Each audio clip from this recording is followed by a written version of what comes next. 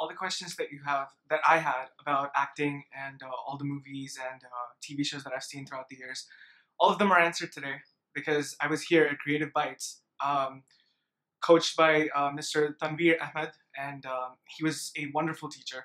And uh, I, I, I highly recommend this place. It's it's beautiful, and just just learning here and and the vibe that goes uh, around this place and it's it's just a really happy environment, humorous and uh, full of joy. So yeah, check out Creative Bites.